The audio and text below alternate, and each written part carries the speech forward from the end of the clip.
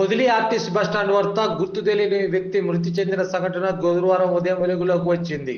గురువారం ఉదయం RTC bus stand complex వద్ద ఒక వ్యక్తి మృతి చెందిన విషయాన్ని తెలుసుకున్న పోలీసులు సంఘటనా స్థలం చేరుకుని మృతదేహాన్ని పొదిలి ప్రభుత్వ వైద్యశాలకు తరలించారు. మృతుడు సంబంధించిన పూర్తి వివరాలు తెలియాల్సి ఉంది.